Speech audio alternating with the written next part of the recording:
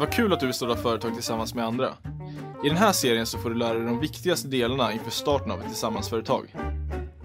Jag heter Alexander och är företagsrådgivare på Companion och idag ska jag berätta för er om kompanjonsavtalet. Kompanjonsavtalet är ett avtal mellan parter som driver verksamhet tillsammans. I aktiebolag kallas det ibland för aktieägaravtal och i handelsbolag för bolagsavtal.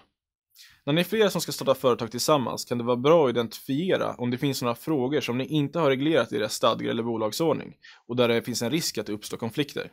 I så fall kan det vara en bra idé att skriva ett kompanjonsavtal.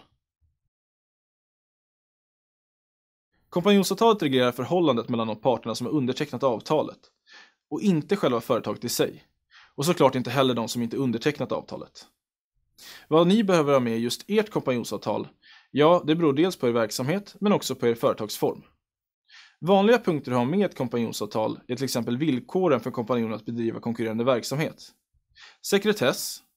Beslutsfattande, om det är några frågor som är så pass viktiga att det inte räcker med en enkel majoritet. Hur ni ska hantera vinster och förluster. Och om ni bedriver ett aktiebolag så kan förändringar i ägarkretsen vara bra att avtala. Och hur ni ska värdera företaget. Och sist men inte minst, glöm inte att ha med ett vitesbelopp, så ni vet vad det kostar om någon skulle bryta mot avtalet. Och hur eventuella tvister ska hanteras, antingen via domstol eller via skiljemän. Det är viktigt att tänka på att det ni skriver i kompanjonsavtalet inte kan förändras under avtalstiden, så länge ni inte alla är eniga om det förstås. Så skriv inte in för mycket eller onödiga saker. Och vare sig ni skriver ett kompanjonsavtal eller inte, så diskutera igenom era förväntningar och mål på kort och lång sikt. Och är det så att ni väljer att skriva ett kompanjonsavtal, glöm inte att uppdatera det regelbundet, så att det också hänger med när er verksamhet förändras. Och det kommer uppstå konflikter. Men var inte rädda, det hjälper er att ta ert företag framåt.